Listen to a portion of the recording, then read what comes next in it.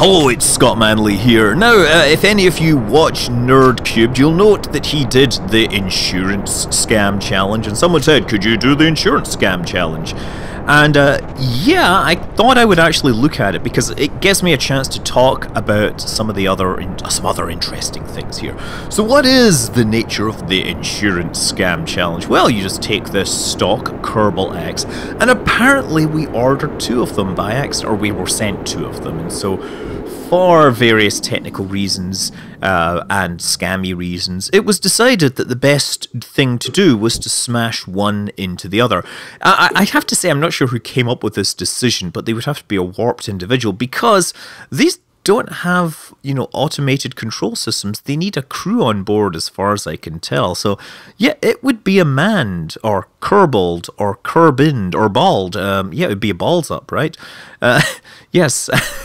Now, Dan, in his infinite wisdom, decided that he wanted to go for maximum impact velocity and therefore sent his second spacecraft going around the planet in the opposite direction. Note that this is actually kind of dangerous because those uh, external boosters, as they're jettisoned, have a nasty habit of falling on top of the Space Center, where they will no doubt wreak all sorts of other havoc uh, and require, and perhaps the insurance agency might take a little closer look at things. But regardless, we're going to put this in a 100 kilometer orbit. This is going to take a little more fuel because, of course, in this direction it's going against the velocity of the planet's rotation, but easy enough. Anyway, you don't need to see all my circularization maneuvers, just be sure that there were many of them as I tried to make things as close to circular as possible and uh, then tried to make sure that we had an encounter that was in a reasonable location. Suffice to say, after much trimming, we got ourselves our first approach. Very soon after, so how closely were these gonna think these things gonna be? Well, we can just watch as it zips by at approximately 4 kilometers per second, 4.4 according to the target display. So it will be there, and thanks to slow motion, you can see that it moves past at about 1.7 kilometers distant. We have a bit of correcting to do here. The first thing we need to do is start to tweak the inclination to make sure the inclination uh, or the ascending and descending node is roughly at the point of the encounter. So after doing that, how close do things get? Well, watching it 20, 19, 18. Again, 4.4 kilometers per second. So that's a few seconds out. And that was very fast. What was it? Look at it in slow mo. Yeah, it was about 350 meters before it disappears off in the other direction. Now, in the names of sanity, I decided to make this thing a little more agile. I therefore ditch half of the spacecraft. I mean, we were running low on fuel anyway, we couldn't recover that. But uh, yeah, this should be able to turn a little more, and of course it has nice little legs that we can extend. It does make a slightly smaller target, but to be honest, being in the right place is more important than being really big. Uh, I can make corrections for hundreds of meters, I can't make myself much more than 100 meters. And we go for another approach, correcting madly at the last minute, 313 meters was what I got it down to. Now I could have done this all day, getting the approach distance down lower and lower, but in this instead, I decided to go with a technological approach, invoking MechJeb. Now I wasn't going to get MechJeb to fly it, but it has a rendezvous planner which tells you the separation at closest approach.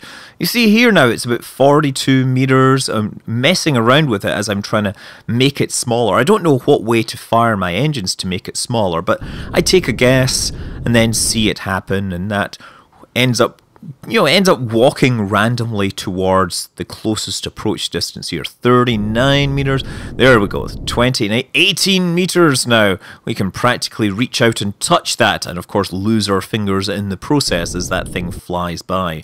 7 meters, 5 meters.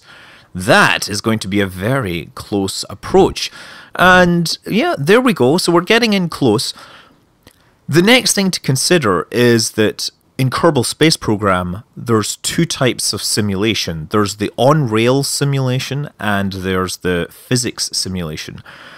There's a slight problem here. There's a lot of converting back and forth in between between these two situations, and the conversion process loses precision. So, what you'll find is that in physics mode, your orbit isn't exactly perfect, whereas on rails, your orbit is perfect. And the on rails approach or orbit is used to calculate the separation at closest approach. But your physics one, it's not quite so accurate. So you'll find that the separation just drifts naturally. Uh, because it's basically model modeling your whole orbit in rectilinear coordinates rather than polar coordinates. It's not using Kepler's laws, it's using Newton's laws. So you need to keep correcting to get this thing down. You see, I got it into millimeters rather than meters. But very quickly, even if I don't do anything, the separation at closest approach is just going to continue to change. The other problem I keep running into is that it frequently switches nodes. It decides, no, you don't want that node in two minutes. We don't care about it. Let's go and take a look at the node on the other side of the orbit, because clearly you're far more interested in that since it's 20 minutes away. I'm sure there's some logic to it, but I'm darned if I can figure that out. Anyway, I just decided to use time acceleration because when you're in time acceleration, you're on rails and your orbit isn't going to change. It's going to be exact. So it flicks back and I'm within 7 meters of where my target is. So I decide to start turning around and making some more corrections here. Going to start by correcting the plane a little here, or at least hoping to correct the plane. So adjust that, and that seems to make it go down, so that's bad. Let's try going retrograde and seeing what that does. Retrograde, um, retro, nope, doesn't matter. That seems to be increasing things. In fact, my separation, whatever I'm doing, my separation is just increasing rather than decreasing. That's not good. 15 meters is moving me beyond the size of my spacecraft. For those of you who only think in terms of feet, 60 meters is about 50 feet. It is not a small distance by any measure. Okay, there, let's try going up. And there, actually, um, we got a small bit of feedback for a second that looked good, and then, of course, it decided to... It decided to taunt me by changing the separation, dis, uh, the node again. It switched the node back to the other one. Stupid thing. Grr, grumble, grumble, grumble. Grumble, grumble, grumble, grumble. Yeah, actually, it makes most sense that we would see the correction in the radial uh, or the. Basically, you won't see any correction in the plane. I'm guessing that most of the variation is going to happen in the physics calculation, uh, and it'll tend to happen within the plane, so you wouldn't need to adjust um, my adjust my um, inclination relative to the target. Here we go 20, 19, 18, 17, 9, 8, 7, 6, 5, 4, 3, 2, 1. Oh, missed. Missed! But it was so close! I could practically feel the wind of that as it rushed by, except that there's no wind in space. But I tell you, looking at it, I'm pretty sure that I felt something. Okay, so I'm making more corrections here. Waiting in vain, perhaps, for the separation at closest approach to show the right value. This is on the rendezvous planner. You can make up your own custom window if you like. Uh, but that is the magic one on MechJeb, and you will need the 1.05 update, which is kind of hard to find right now, what with the Kerbal forums being in transition, let's say. There we go. It's coming in. Coming in. I think I'm going to make a little bit of a thrust to lift my rocket up just a bit. Come on. 20, 19, 18, 17, 16, 10, 9, 8, 7, 6, 5, 4, 3, 2. Whoa! Wow! That was really close. How close was it? How close was it? That was that close. That close. Yes. Um, so here's the thing. Collision physics is calculated by stepping time forward one frame at a time, and with 30 frames per second, 4 kilometers per second, you're moving over 100 meters per frame. These things probably just stepped through each other, so you need to be able to slow the physics time step down. And there's a mod that can do that in the form of Better Time Warp, which under Physics Warp lets you make Physics Warp slow things down to one tenth normal speed. Armed with this new power to manipulate time, we once again set forth on our quest to, well, smash things together at really high speed. So we get our separation distance down, and again, you'll notice that the separation distance is, is kind of decreases when I'm in physics warp, but on rails, it's perfectly fine. So I just want to keep this thing on rails ra and rather, you know, regular time acceleration until we get really close and then we want to switch over to slow things down. A half, a quarter, point two, point one, and now we just watch this come in. Will this collide? Will this collide? Oh my goodness, this is so exciting and it's destroyed! Oh, look at that. Now just remember, that thing spinning like crazy is is actually 10 times slower than it should be. There we go. Bill Jim Everyone survived as well, so we successfully destroyed the rockets, wrote them off for the insurance scam, and nobody died. So it isn't like some sort of crazy murder suicide thing between Valentina and the boys. Okay, if you can't be bothered with all that faffing around in space, there's actually a way to make collisions happen really easily and avoid the whole problem of rendezvousing. So, if we go in here and we start a resume a game, I have actually got a save here. This is a it's a version of the International Space Station. It's put together by a guy called Adam. Uh, you can check out his YouTube channel. I'll link it at the bottom. Um, so he has in space a rather magnificent space station, right? And it's orbiting the Earth, and perhaps we want to make something collide with it, right? So how would we do that? Well, we could launch something into space, or we could just put something up there that collides with it. So let's go and put together a spaceship. Easy enough, here it is sitting on the pad here, and I'm just going to hit F5 to save. Now, I'm going to go over to the saves directory and look at ISS and look at the quick saves. So I'm going to edit this with Notepad++. You can use plain old Notepad if, if you so choose.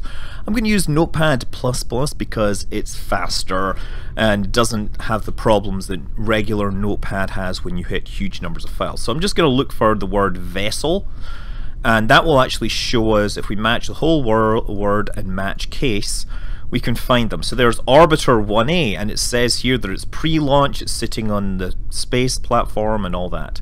We've got some asteroid, we've got some debris, and if I just keep clicking through, we'll find the space station here. Look, solar truss, solar truss, airlock. Obviously the guy that did this did it properly. Serious respect to that, right? So here is the space station. Now this is the thing we want to have a collision. And the important part of this here is the orbit. See this? This gives you the orbital parameters that are identical to it. So I'm just going to select those and Control C copy those. So now we're going to continue looking, find orbiter 1A, and then I'm going to just substitute these. Now, that will put it on exactly the same orbit. Actually, no. What we got to do first of all is we've got to change its situation to orbiting because it's sitting on the launch pad. We're going to say landed is false. And we got to just get rid of this. That's the only thing. But this orbit right now is exactly the same as a space station, and it will just basically collide instantly as soon as you load this. So instead, what you want to do is give it an inclination, right? Take this inclination and make it anything but this. Say make it 179. That will put it on an orbit which is directly opposite this thing, right? It will encounter it catastrophically, but of course it will probably phase through it. But if you save this, Control S, and then go back to the game and F9 to load it, we should be able to see that we're in pretty much an orbit going exactly opposite to the space station, right? So now if I time accelerate, we will fly around the planet and hopefully encounter each other head on. If I actually set my target, you should see that it says orbital encounter distance 0, 0, 0. I'm going to go in here and set my slow-mo physics warp here. It says my separation at closest approach is 1 meter. So let's just wait for this thing to happen. And of course, as soon as this actually gets close enough to encounter, we want to switch out of accelerated mode. Now, in time acceleration mode, when you're using on-rails acceleration, things are much more accurate, right? So I'm going to look uh, forward. What way are we going? This way. Oh, there we go. And then I'm going to switch to physics warp when I get close enough, right? And that wasn't close enough. There we go. Physics warp, physics warp, physics warp, as slow as the eye can see. The game is pausing so it can load this thing, and is it time acceleration has reached zero? Will we collide? Well, we can watch this in incredible slow-mo vision. This is looking good. This is looking very catastrophically good. And yes! Blowing straight through it. This is going to be fabulous. Look at that. Game is thinking really hard. Yes, you can see my my uh, cursor spinning there as everything just obliterates itself. so that's one way to do it. That's that's the easy way to do it to guarantee that you will get this impact. Look, there's stuff everywhere. Oh man, everything just flying around, spinning around like some insane spinny roundy thingy. Ah, there, that's something that looks rather more robust. Wonder if there's anyone on it. I guess not. Oh, look, it's going to have another collision. Secondary debris collisions here, yes. This is not a great thing. So, uh, one advantage of having the physics rate clank cranked down as low as it is, is it actually lets the game run a little smoother and it means that it has more time to actually perform all these calculations. Um, but realistically, if you want to have this happen, you can go back and instead of having 179, just make the inclination maybe 10 degrees.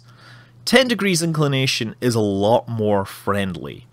Uh, it's a lot lower velocity, it's a lot more likely for th that things will actually happen in a sane manner.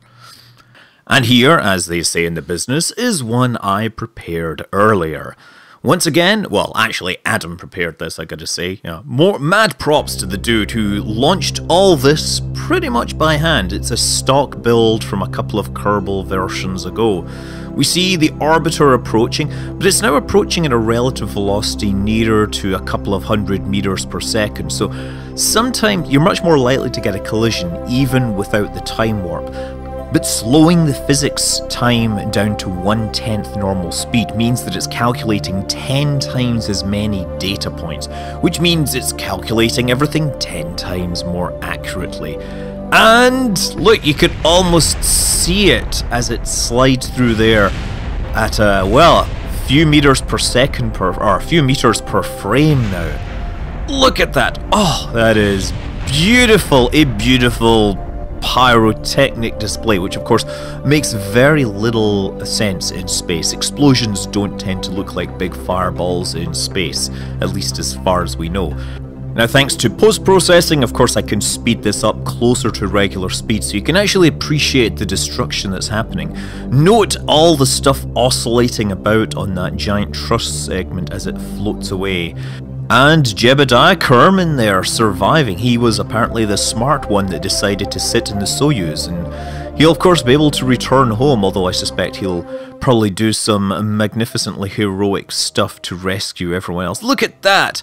The whole thing just oscillating, it's kind of flapping its wings like a giant bird in space. A bird that has, of course, just been hit at hundreds of meters per second with a spacecraft. So yes, collisions in space, they're fun. I'm Scott Manley. Fly safe.